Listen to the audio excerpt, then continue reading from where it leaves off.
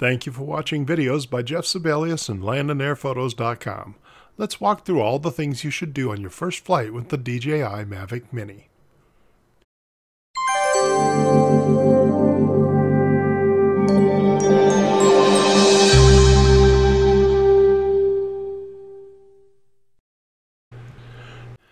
Previously, I demonstrated how to do a good pre-flight with your Mavic Mini. If you haven't watched it, click the link in the upper right corner now and watch it before you watch this one. This video will pick up right where the pre-flight episode left off and walk you through a great first flight. Here we go. Look at the flight status message. This will tell us if there are any problems with our system as the drone and controller go through the process of connecting with enough satellites to ensure solid GPS control. When you have connected with enough satellites, the message should read Takeoff Permitted. Don't attempt to launch until you get this message. We've got the message, so we're ready to launch. I usually take a last look to make sure all my transmitter settings are good and do a visual last check to make sure no one is walking up to me from behind. Alright, here we go. Let's start off with an auto launch. Press the launch button on your screen and then press the button in the center and hold it until the count up message on the screen finishes and goes away. The drone starts its motors and lifts off from the ground. It will rise to about 4 feet and go into a hover. When I launch a drone, I like to let it hover for a few seconds just to make sure it's holding its position well. The Mini is hovering nicely, so let's keep going. Let's record the video of our first flight for posterity. Is the big dot on the right side of the screen white or red? If it's white, you're in photo mode. Press the button directly above it to switch to video mode. You'll see the button turn red. We can start the recording one of two ways. You can press the red button on screen, or you can press the button on the left shoulder of your controller. Either way, when you start recording, you'll see a counter appear on screen to show how long your recording has been going. If I hit either of the record buttons again, the recording stops. Press the record button again like this, and it starts again. At any time I can tilt the camera gimbal. On the left shoulder of the transmitter is a dial. If I turn the dial counterclockwise, the camera tilts down. You can see the view tilting down. If I turn the dial clockwise, the camera tilts back up. Let's bring the camera back to pointing straight forward with the shoulder dial.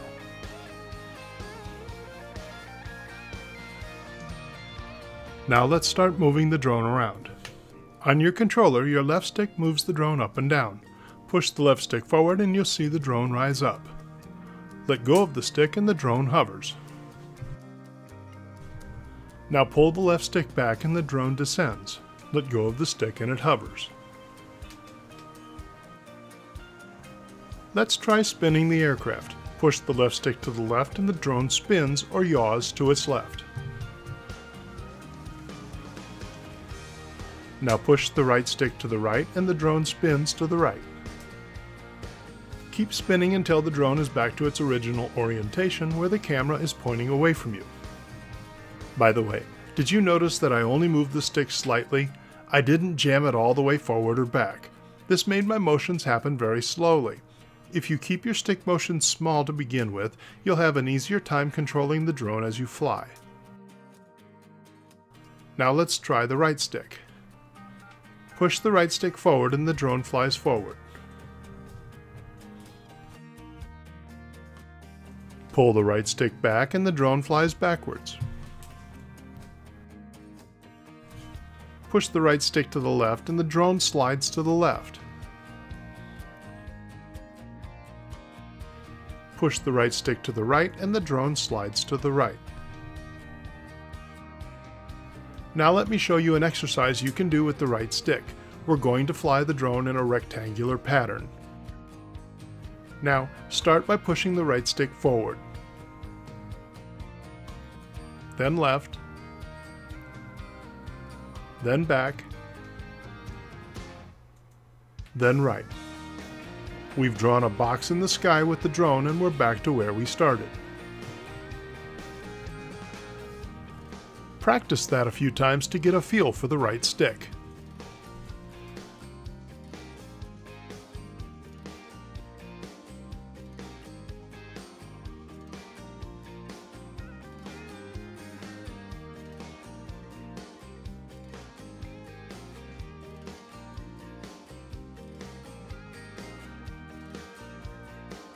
Now let's throw a complication into this pattern. I'm going to rotate the drone 90 degrees to the left by pulling my left stick to the left. Now the drone is pointed to my 9 o'clock or so. Now let's see what happens when we push the right stick forward. Aha! Instead of flying away from you as it did before, it flew to my left, or more accurately, it flew to its forward. Your stick controls will always move the drone based on the direction its nose is pointed, not which way you're facing. This is called orientation and it's the trickiest thing you have to learn as a new pilot.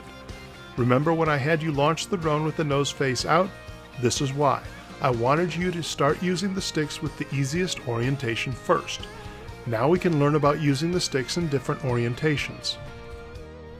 Let's pull the right stick back.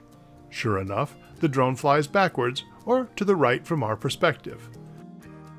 If we push the right stick to the right, the drone flies away from us. Push the right stick to the left, and the drone flies toward us. Let's use the left stick to rotate the drone 90 degrees again, so now the camera and the nose of the drone is pointing right at you. Move the right stick to the left, and the drone flies to your right. Move the right stick to the right, and the drone flies to your left. Push the stick backwards, the drone flies away from you. Push it forwards, the drone flies back towards you. See how tricky orientation can be? The best way to think of this is to visualize yourself in the cockpit of that drone. That FPV view on your smart device is what your drone sees directly in front of it. If you are looking strictly at the FPV screen, orientation becomes much easier because then the stick controls match what you're seeing on the screen. The problem is, you have to keep your eyes on the drone rather than on your screen to fly safely. What you want to do is use the screen occasionally to help you get your bearings and don't stare at it. Let's go back to our box pattern exercise and test out what we've learned. I'll rotate the drone so that it's pointed to the left. Remember how to do that? You push the left stick either to the right or the left and the drone will spin around in place. I'll back it up to give us room on our screen. Now with the drone pointed to your left, let's draw a box. We want the drone to fly away from us. Look at your FPV view. That would be to your right of the FPV view. Push the right stick to the right, and the drone flies away from you. Now let's move the drone to our left. Well, that's right where the drone is pointed, so we just point the right stick forward and it flies to the left. Now we'll bring it closer to us. That will be to the drone's left, so we push the right stick to the left and it works its way back to us. Finally, we want it to go to the right, which is going backwards for the drone. Pull the stick back and the drone flies to our right. Practice drawing this box several times starting with the drone pointed to your left.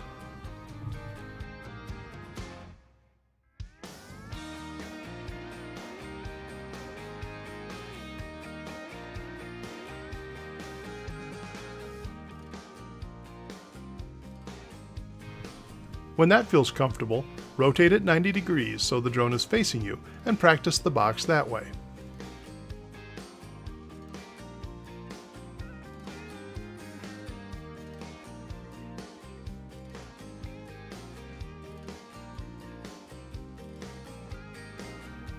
After that, rotate again so it's pointed right and draw the box again. You could literally spend your first few flights doing nothing but practicing this pattern to develop your skills with orientation. It takes getting used to, so be patient. And always remember, if you get confused or it's not going where you expect, just let go of the sticks.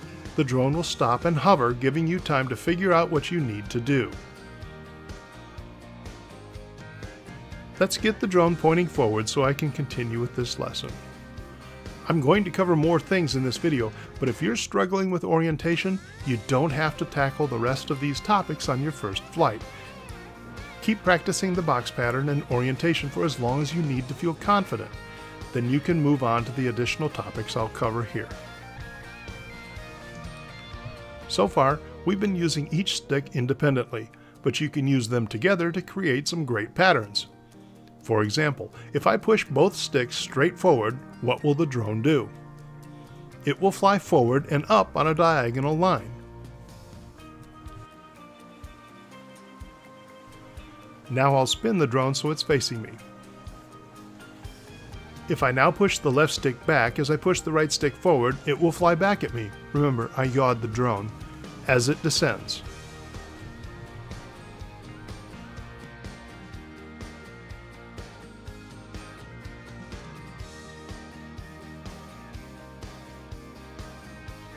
Let's get back to our starting position. Have some fun trying different stick combinations to see what they do. Make sure you test these out in an open field and with enough elevation so you don't crash into something while you're learning.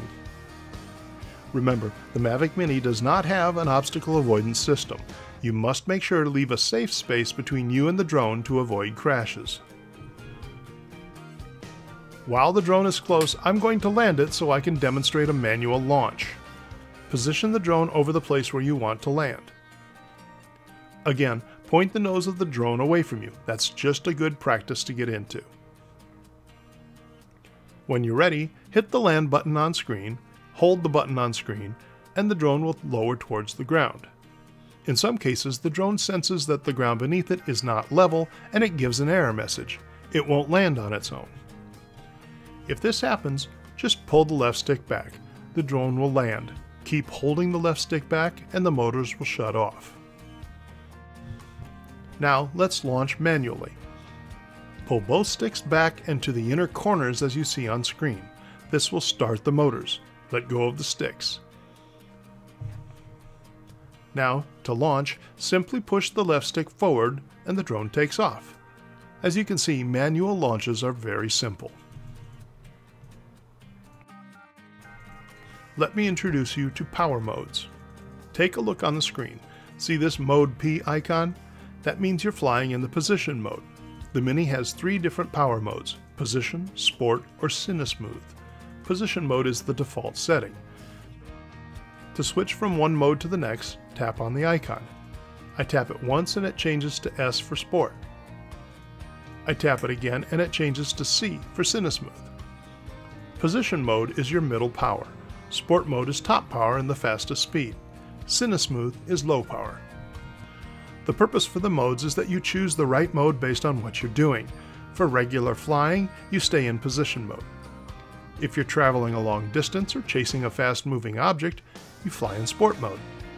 When you want to slow down and get really smooth shots, or you're flying close to obstacles, switch to Cinesmooth. These modes are more important with the Mavic Mini than any other drone because the Mini is not a powerful drone and it is easily affected by winds. I have done a separate video on using position, sport, and cinesmooth modes. You'll see a link to it in the upper right corner now. As a new drone pilot, you need to watch that video. It could be the difference between you watching your drone fly away or getting it back safely. Let's wind up our first flight with a demonstration of what happens when you trigger a return to home. This is a safety feature you need to know how to use. If you have trouble with the drone during a flight or you lose it in the sky, you can trigger a return to home and it will fly back to its home spot and land. I'll fly out. Let's put it over 100 feet away.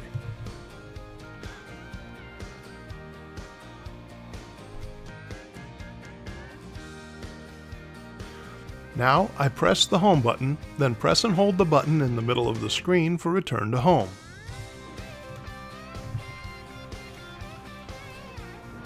I get a message that the return to home has been activated. The drone first flies straight up to the altitude I specified in my settings. Next, the drone rotates to face me and flies back to where I launched from. Notice on my camera view that I can cancel the return to home at any time if I want to take control of the aircraft again. In this case, I'll let it land.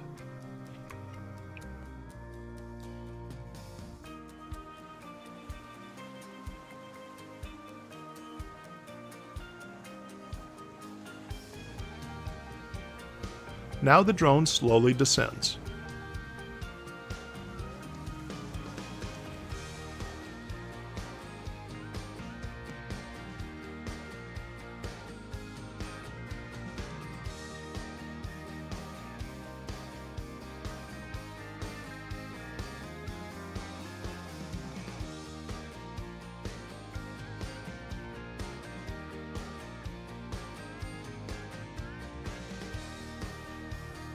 The drone lands itself and shuts off the motors. I'm going to launch again, so I turn the drone around so it's facing away from me. I encourage you to practice the return to home procedure a few times so you know exactly what to do and what to expect if you experience trouble. We've been flying for a while. Get into the habit of checking your battery charge frequently as you fly. Remember, by default, when the battery reaches about 5 minutes of flight time left, the drone will issue its first low battery warning and attempt to return to home. By the way, 5 minutes of flight time left is an estimate. It could be affected by wind, cold temperatures, or the condition of the battery. Don't rely on the 5 minute warning as gospel. Bring the drone back with plenty of time to spare. I'm going to run down the battery to that point so you can see exactly what it looks like to get the first warning.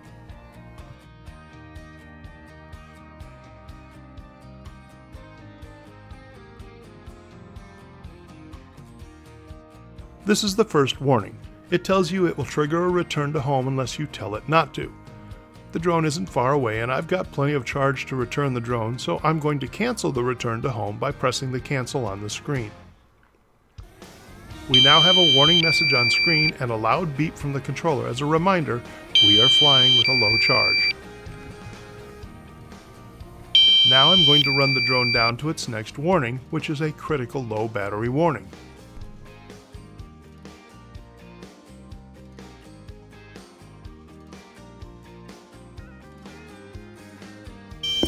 The drone has hit the critical battery level and is attempting to land. Notice that I'm forcing the drone not to land by pushing the left stick up as I pull it back to my location. If I let go of the left stick, it will try to land automatically.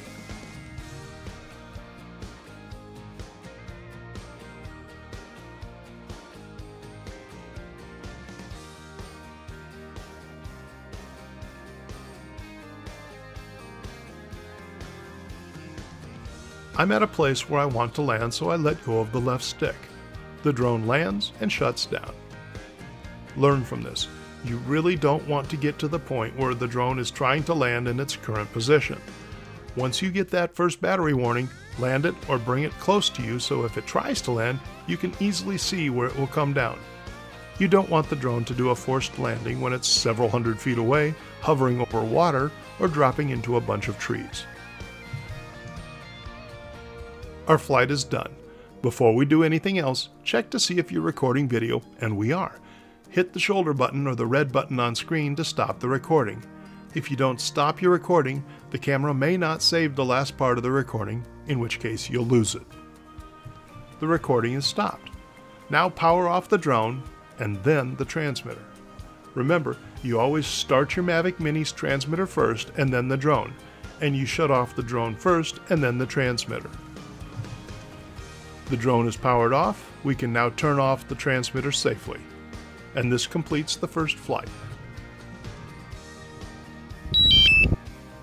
We covered a lot of things on our first flight. Launches and landings, recording video and tilting the gimbal, left stick and right stick, orientation, using the sticks together, changing modes from position to sport to cinesmooth, return to home, and low battery warnings. Practice these actions in your first flights. Don't see how high it will go or how far away you can fly it. Keep it safe, keep it close, and learn to fly your drone the right way. Look on screen and you'll see more videos on the Mavic Mini. Watch them to keep learning. Click the subscribe button in the center of the screen. More tutorials will be published soon. Want to talk drones? Join my Facebook group. The link is in the description below.